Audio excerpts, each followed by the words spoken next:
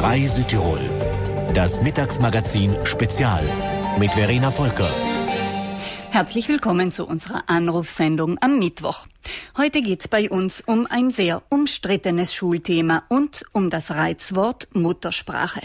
In unseren Oberschulen gibt's ein neues Zauberwort, nämlich KLIL. Es soll das Erlernen von Fremdsprachen regelrecht revolutionieren. Bei KLIL werden Sachinhalte in einer Fremdsprache unterrichtet, also etwa Geschichte auf Englisch oder Mathematik auf Italienisch. Die Methode wird mittlerweile an Schulen in ganz Europa eingesetzt, verbreitet etwa auch in Österreich.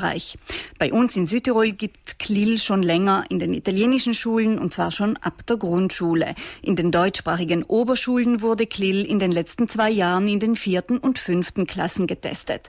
Offenbar haben Schüler, Lehrer und Eltern sehr gut darauf reagiert. Daher soll diese neue Form des Unterrichts schon ab der zweiten Oberschulklasse angewendet werden, also bei Schülern ab 15 Jahren, allerdings mit klaren Begrenzungen. Nur in maximal zwei Fächern und bis maximal 50 Prozent der Unterrichtszeit. Was halten Sie vom Sachunterricht in einer Fremdsprache? Ist KLIL eine Chance zum besseren Erlernen von Fremdsprachen oder eine Gefahr für unsere Muttersprache?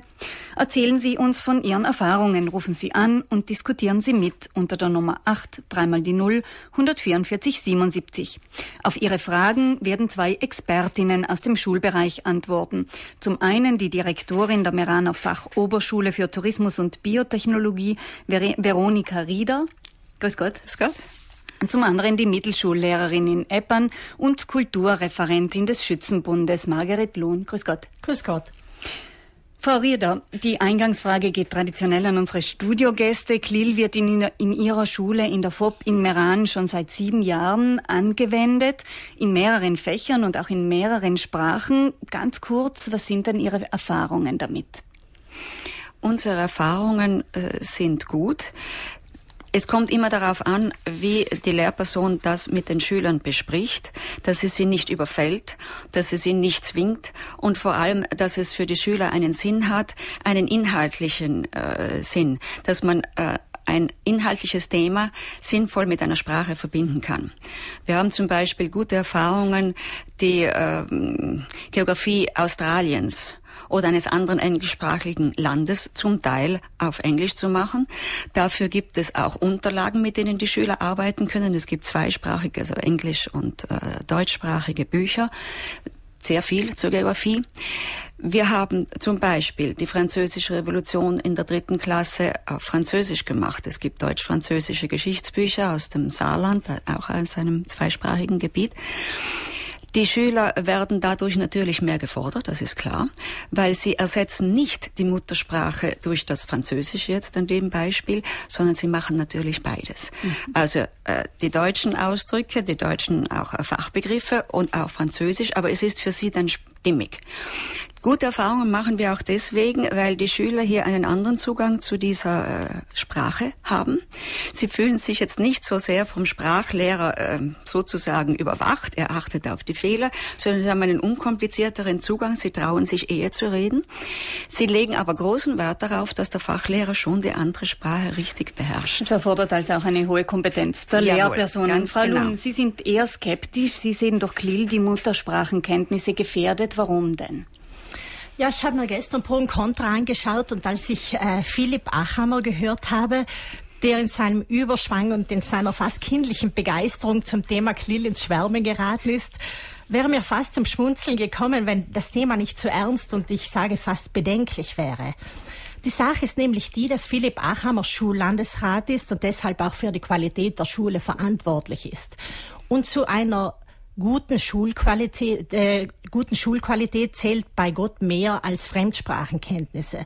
Und ich befürchte jetzt im Augenblick, es ist ja modern und gut und auch toll, wenn man mehrere Fremdsprachen kann, dass einfach die Inhalte zu kurz kommen.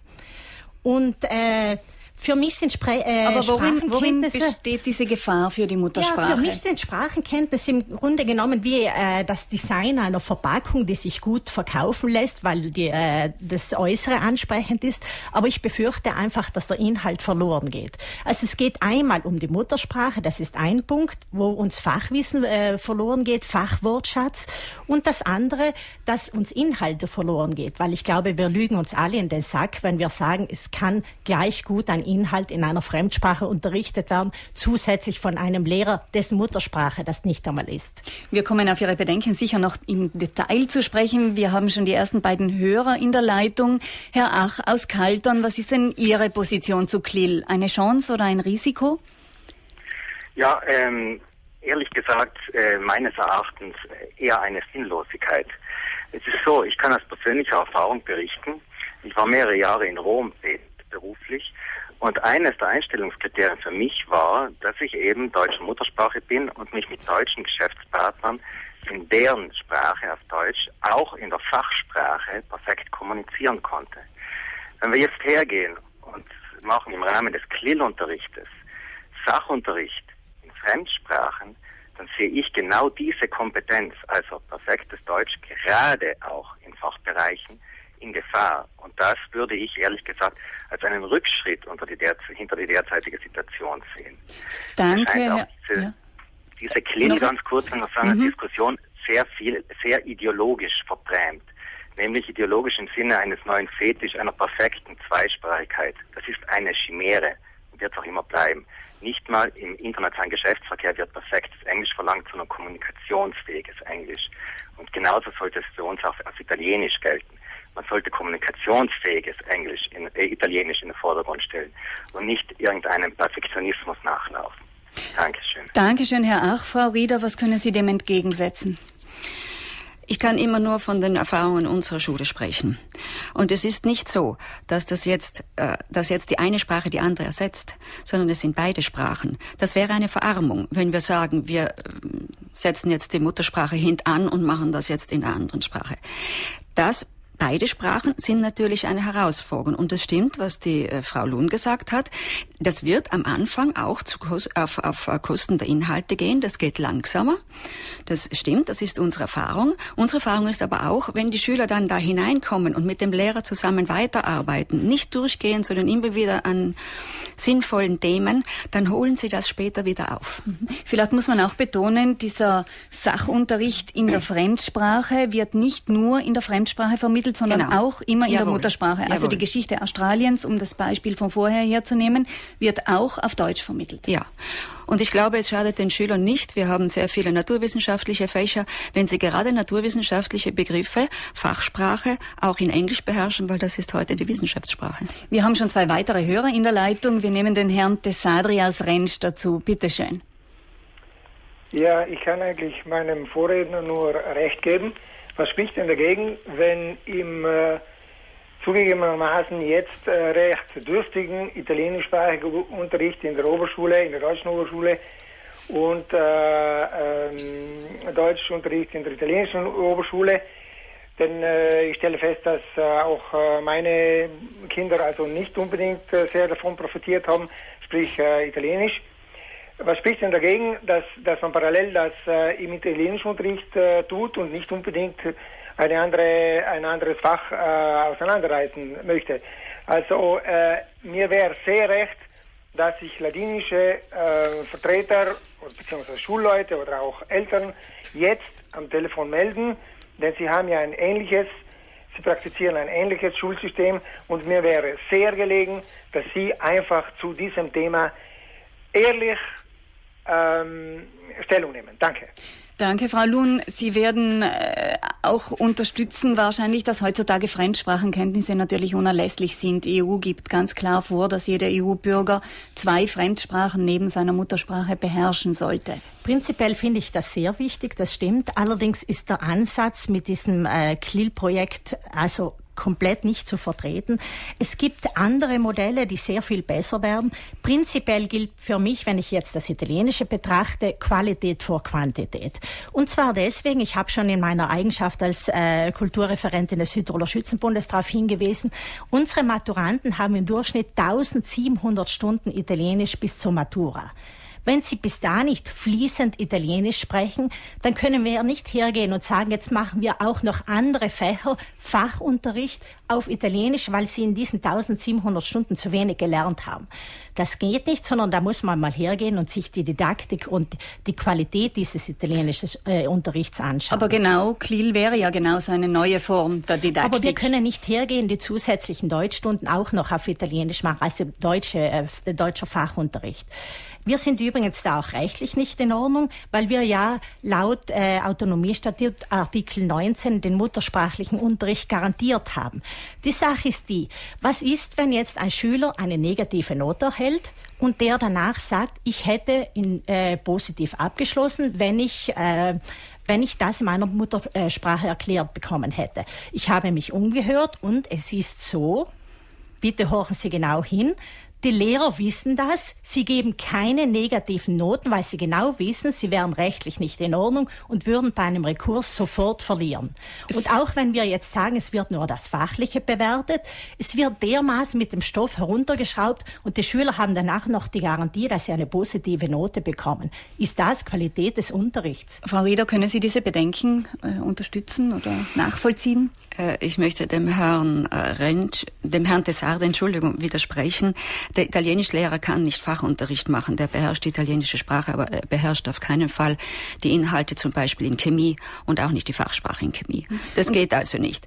Über die, die Qualität des, um Qualität des italienischen ja. Unterrichts äh, ist jetzt nicht, glaube ich, die mhm. Diskussion. Nein. Artikel 19, es ist vollkommen richtig, der Schüler hat das Recht auf muttersprachlichen Unterricht und es darf auch nicht sein, dass er wegen Klill jetzt eine schlechtere Note bekommt. Ich, ich weiß jetzt nicht, ich kann wie gesagt immer nur aus den Erfahrungen unserer Schule sprechen. Die Überprüfung wird in der Regel auf Deutsch gemacht, weil er beides lernt. Und wenn er jetzt äh, zusätzlich das auch in Englisch noch gut kann, dann bekommt er ein Plus, aber er wird nicht gestraft. Und er wird auch nicht schlechter benotet? Nein, weil, wie gesagt, er, er muss es in beiden äh, Sprachen kennen. Das ist die Herausforderung. Wir nehmen den Herrn Steinwanter aus Doblach dazu. Herr Steinwanter? Ja, guten Tag. Wie stehen Sie zu Klill? Ähm, ich habe mich die letzten Wochen ausführlich mit Klill und auch anderen Sprachprojekten in Südtirol befasst. Das Ganze ist heute nachzulesen in einem ausführlichen Artikel auf unsertirol24.com. Und äh, ich habe mir das angeschaut und bin zum Schluss gekommen, dass es auch andere Möglichkeiten gibt, andere Projekte neben Klill, die jetzt so sehr von der Landesregierung und von Philipp Achammer forciert werden. Warum aber? Da gibt es beispielsweise in Bruneck in der Josef Barkleckner Grundschule ein Projekt, schon seit fünf Jahren. Das ist anders als Klill, hat aber auch also positive Erfolge zutage getragen. Und zwar werden da nicht Deutschstunden gestrichen, also Unterricht auf Fachunterricht auf Deutsch, sondern es werden Stunden dazugenommen. Das heißt, die Eltern können entscheiden, ihre Kinder freiwillig in eine sogenannte Sprachenklasse zu schicken. Und die haben dann fünf Stunden pro Woche mehr Unterricht. Und dort lernen sie dann Deutsch, Italienisch, Englisch gleichermaßen. Das heißt, sie bekommen sogar zusätzliche Deutschstunden hinzu. Und das bei den Eltern, wie mir mhm. die Direktorin mitgeteilt hat, sehr gut an. Mhm. Dankeschön, Herr Steinwander. Wir haben noch weitere Hörer. Die Frau Burger aus Bozen, bitteschön. Ja, hallo. Ja, grüß Gott. Hallo. Äh, also ich wollte nur meine Meinung dazu sagen. Ja, bitte. Äh, ich glaube, halt meiner Meinung nach sollte schon die Diskussion äh, darum gehen, früher sogar zu starten, schon in der Volksschule sollten solche Projekte von mir aus äh, durchgeführt werden, dass einfach die, die, Schüler mit der zweiten Sprache viel mehr äh, in Kontakt kommen und äh, damit sich befassen müssen. Äh, also ich habe viele äh, Eltern schon auch befragt oder gehört und also die allgemeine Meinung ist schon so, dass die, dass, dass die zweite Sprache einfach viel mehr eingebunden werden soll, schon viel früher, nicht erst in der Oberschule. Danke, Frau Burger. Frau Rieder, was sagen Sie zu dieser Anregung schon früher und nicht erst in der Oberschule? Äh, das Pilotprojekt, wo in der vierten Klasse begonnen wurde, hat an unserer Schule ganz deutlich gezeigt, dass das nicht sinnvoll ist. Das war wirklich schon zu spät. Wir haben deswegen schon vorher in der ersten Klasse einige Projekte, in der zweiten Klasse einige Projekte gemacht, immer langsam, damit sich die Schüler darauf einstellen können, damit der Lehrer auch sieht, geht das mit dieser Klasse, weil wenn es nicht geht, dann hat er die Pflicht, äh, zurückzugehen von der Methode, da muss er mit einer anderen Methode unterrichten. Es geht um das Lernen der Schüler. Ähm, was die Freiwilligkeit anbelangt, äh, das ist natürlich ein wichtiger Punkt. Wenn es möglich ist, dass man Parallelklassen hat und die Schüler wählen können, beziehungsweise auch die Eltern, dann würde ich das auf jeden Fall befürworten. Wir haben das auch ausprobiert. Ich weiß jetzt nicht, äh, wo die Oberschule fünf Stunden mehr für die Sprache hernehmen soll, wie das Herr der Steinwander gesagt hat, weil dann müssen wir den Fachunterricht kürzen. Mhm, mh. Frau Luhn, Sie wollten noch was dazu sagen? Ich wollte auf äh, Ihre, Ihre Wortmeldung von vorhin noch etwas dazu sagen, und zwar sagen sagen Sie, ein Italienischlehrer kann nicht Chemie unterrichten, weil das ja nicht sein Fachgebiet ist. Ich finde es viel bedenklicher, wenn ein Deutschlehrer auf Italienisch Chemie unterrichten muss oder ein Chemielehrer auf Englisch, wo womöglich die äh, Schüler zum Teil schon besser Englisch können wie er selbst. Das ist ja komplett sinnlos. Zur, zu dem, was Frau Burger vorhin gesagt hat. Es gibt äh, Studien, die zum Teil von der EURAC durchgeführt äh, worden sind, wie die Kolipsis-Studie und die PISA-Studie, wo das genau untersucht worden ist, wie sinnvoll es ist, äh, früh, früh mit dem äh, Unter äh, Unterricht in der zweiten Stra Sprache zu beginnen. In der italienischen Schule gibt es schon, das schon viel länger. Und es ist sehr interessant, wie die italienischen Schulen und die deutschen Schulen jeweils in der PISA-Studie abgeschlossen haben. Die deutschen Schulen mit Abstand besser in allen Bereichen, die getestet worden sind, Mathematik, Naturwissenschaften und Lesen. Die italienischen äh, Schulen in Südtirol alle unter dem OECD-Durchschnitt. Und das zeigt auch auf, dass da eine äh, von der Qualität her große Unterschiede bestehen. Und wie Landesrat Achammer jetzt dazu kommt, den Klillunterricht als etwas so Tolles zu verkaufen, wo es keine Studien gibt, das finde ich sehr bedenklich. Und es kann ja nicht meine Aufgabe sein, ihn darauf hinzuweisen, dass er für die Qualität der deutschen äh, Schule verantwortlich ist und die nicht zu einem Sprachinstitut äh, degradieren kann. Noch kurz die Frau Direktorin Rieder, dann nehmen wir wieder zwei Hörer dazu. Frau Rieder. Äh, das Pilotprojekt, von dem ich vorhin gesprochen habe, das wurde sehr wohl ausgewertet. Das steht ja auch, da nimmt der jüngste Beschluss der Landesregierung auch darauf äh, Bezug. Was die Sprachkenntnisse der Lehrer anbelangt, selbstverständlich kann kein Lehrer einfach auf Englisch unterrichten, wenn er nicht gut Englisch kann. Es ist nur so, dass die, äh, vor allem die jüngeren äh, Lehrpersonen, das zum Teil auf der äh, Universität schon gelernt haben, in der englischen Fachsprache. Einmal. Und zum Zweiten, das würde sich der, der Lehrer ja auch nicht zutrauen, zum Zweiten sind die Schüler sehr kritisch. Sie sagen schon, also wenn wir diese zusätzliche Mühe, das in zwei Sprachen zu lernen, auf uns nehmen, dann muss das aber auch in der zweiten Sprache gut sein. Mhm. Und zum Dritten gibt es ja für Klill auch eine eigene Ausbildung. Es wird in Zukunft so sein, dass äh, nur für Lehrer. Soll, für Lehrer, mhm. dass nur solche Lehrer das unterrichten können, die die Ausbildung haben. Gut. Zwei Hörer warten schon lange in der Leitung. Der Herr Töchterle aus St. Lorenzen. Bitte schön, jetzt sind Sie dran. Ah, grüß Gott. Ich möchte gleich sagen, man muss für alles, für alles äh, Fremdwörter finden und in der Schule so weitermachen. Na, der Sven Knoll vollkommen recht, wenn das verkaufte Heimat ist. Sie sind also mehr als kritisch. Ja, wir nehmen gleich den Herrn Strobel aus Gries dazu. Bitte ja. schön, Herr Strobel. Ja, grüß Gott. Ich wollte erinnern, dass die erste äh, Schulreform war von Kaiserin Maria Theresia. Sie hatte drei Jahre Pflichtschule plus ein vierte Jahr und da war verpflichtet Zweisprachigkeit. In Tirol war Deutsch-Italienisch, in Kerpe war Slowenisch, Deutsch, in Burgenland Ungarisch und, und Deutsch. Die zweite äh, Schule war unsere Väter war natürlich in Tirol ein oder zwei Jahre im Gymnasium Rovereto zu absolvieren und die Welsch-Tiroler sind nach Hall in Nordtirol gegangen, Deutsch zu lernen. Das war die normale Praxis bis Erster Weltkrieg. Und dann kommt die mitteleuropäische Methode, das heißt, wenn in die Familie man muss die Sprache lernen. Das heißt, es ist, wir sind in eine Frankreich gegangen und für diese zehn Tage muss in die Familie nur Französisch sprechen oder äh, Englisch in England. Man muss auch in die Familie nur Englisch sprechen. Das ist die einzige alte Methode. Damals war ohne Computer oder nicht. Und die Leute haben sie wunderbar die Sprache gelernt, also ohne Probleme und so weiter. Man muss nicht alle von der Schule verlangen und sehr schwierig, eine Fächerunterricht in einer Sprache, wo das selber den Menschen nicht beherrschen. Danke, Herr Strobel, Frau Lun. Also nicht nur Ja, die Schule ist, als Sprach. Ja, das, äh, das sind natürlich auch die Eltern äh, gefordert, ihre Eigenverantwortung. Sie müssen sich auch darum kümmern, dass ihre Kinder außerhalb der Schule die Möglichkeit haben, diese Sprachen zu lernen. Äh, zum äh, Sprachunterricht nur ist nur noch zu sagen, dass im Artikel 19 explizit steht, dass auch der Lehrer äh, in der Provinz Bozen wird der Unterricht in der Muttersprache der Schüler von Lehrkräften erteilt, für welche die betreffende äh, Sprache ebenfalls Muttersprache ist. Also sind wir da in doppelter Weise nicht legal. Mhm, mhm. Äh, wir nehmen einen letzten Hörer herein. Das ist der Herr Obkircher aus Völser-Eicher. Bitte schön. Ja, ich habe gestern die ganze, die ganze Sendung Pro und Contra verfolgt. Ja. Und nachher ist mir viel gekommen. Der Achammer kann das nicht kapieren, was Klill genau ist. Aber der Arno schon. Aber die müssen, der Arno muss ganz genau wissen, wie es mit den Leuten in Gräden ist, die super gescheiden. Das haben keinen drei, vier, fünf Sprachen.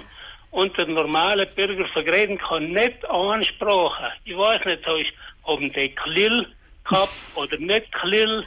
Mir kommt einfach vier der Arno müsste mindestens da mitkommen. Aber drei haben wir von selben erwarten wir schon nicht ganz viel, weil es, es, es gibt es gibt Sachen, die was man nicht verstehen kann und nicht will. Ja, danke schön, Herr Obkircher, für Ihre Wortmeldung. Vielleicht eine letzte Frage an meine beiden Gäste im Studio. Frau Rieder, in welcher Form werden Sie weitermachen mit Lil an Ihrer Schule? Wie bisher oder werden Sie was verändern? Nein, wir werden weitermachen wie bisher und immer natürlich äh, die, die Schüler berücksichtigen. Der Lehrer macht Unterricht mit den Schülern in einem Fach und nicht Unterricht und dann sollen die Schüler schauen, wo sie bleiben.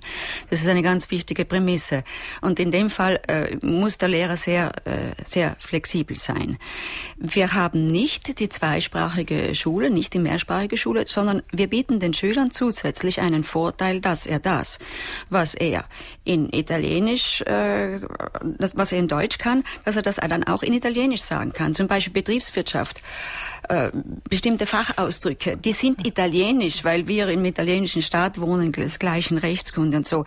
Also ich sehe ganz stark die Sinnfrage damit verknüpft und nicht einfach das Prinzip, das muss jetzt durchgehend nur in dieser Sprache sein. Das wäre äh, pädagogisch auch nicht vernünftig. Frau Luhn, würden Sie Klil befürworten, vielleicht unter bestimmten Bedingungen? Absolut nicht, weil absolut nicht der deutsche, der deutschsprachliche Unterricht, der Fachunterricht gekürzt werden darf. Auch ich sehe die Sinnfrage damit verbunden, wieso sollen wir hergehen, Fachwissen kürzen aufgrund von anderen Sprachen. Also man muss die anderen Sprachen in diesen Stunden lernen und nicht Fachunterricht kürzen. Das war unsere Anrufsendung am Mittwoch. Wir sind schon am Ende. Wir haben gefragt, ob der Sachunterricht in einer Fremdsprache, kurz KLIL genannt, ein Risiko oder eine Chance ist.